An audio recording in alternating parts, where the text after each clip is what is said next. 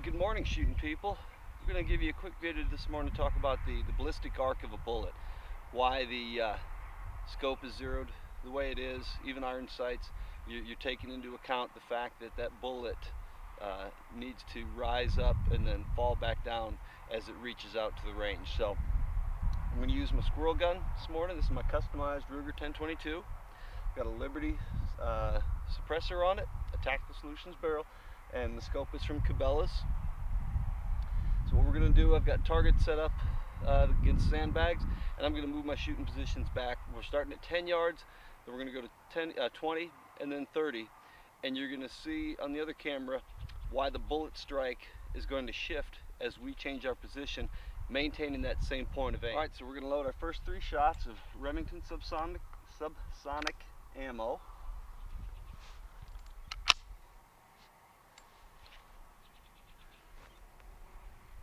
Using a nice solid rest that way we take any influence of the body and my breathing out of the factor. We're going to get as steady as possible to a very nice consistent shot group.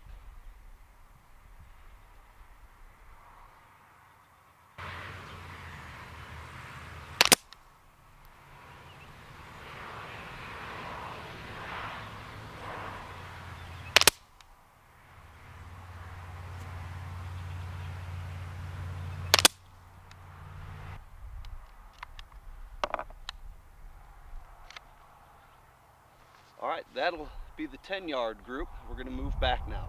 All right, next we're gonna shoot three rounds from 20 yards.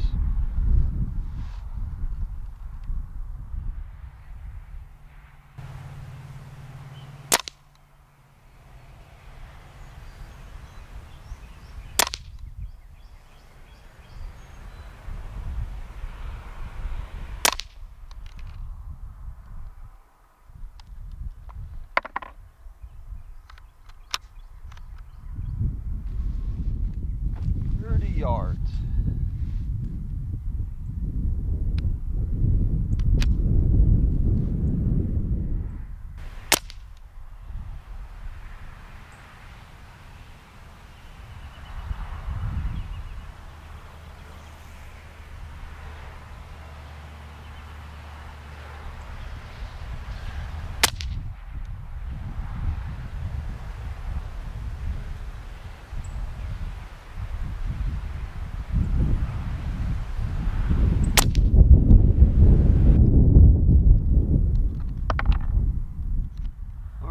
So this is the, the view through the scope. Excuse me. You'll see I've got the crosshairs, but then there's some other smaller crosshairs below that I use for ranging marks. So I'm at 10 yards right now, and I'm going to use that lower crosshatch mark to aim at center target. I'm going to fire three shots, and because of the zeroing, you'll see that these are going to hit pretty close to that dot. Now, bear with me while I aim through my camera viewfinder here. There we go. Let's go with that. There's one. A little high.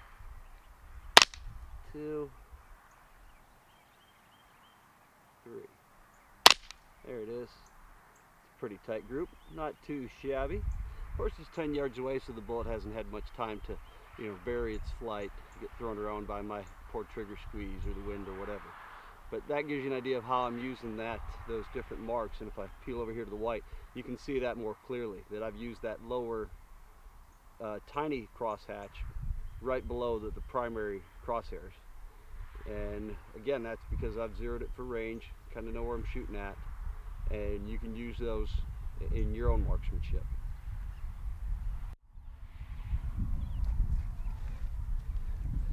So what do we mean when we talk about the, the scope and the, and the bore and your line of sight versus your, your line of flight? There's my handy dandy little sunshade, the Cabela scope. A little bit close to the end, you get some, some sun glare in certain instances. Nice little cheap, easy fix. so your line of sight is what you see through the scope. Your line of flight is how the bullet leaves that barrel. And you notice that they're, they're a significant distance apart. But that's why my bullet strike changes. At 10 yards, that bullet is still coming up from the barrel. So my line of sight here, but my bullet path is still down here. So this and this corresponds to this distance here. Does that make sense? Because of the way the scope is adjusted, as that bullet rises up, it's going to rise and then fall as it gets out further and further. As I move back at 20 yards, I'm here, and 30 yards, I'm here, because I've zeroed the scope to be on target and maybe a little bit high at around 30 yards. There's a, a mark on the scope where I'll aim at, if I'm at 25 or 30 yards, there's a lower mark that I can use if I'm below 20 yards and I know that I'm going to be pretty close to where I'm aiming. Why do I pick 20, 30 yards? Because this is the gun I use to hunt squirrels with, and that's the range that I shoot most of my squirrels is about 20 yards or less. And by doing this test, figuring this out for this particular make of ammunition, I can be very confident, very consistent, and, and be able to predict with a high degree of accuracy exactly where that bullet is rising and falling and make very precise hits.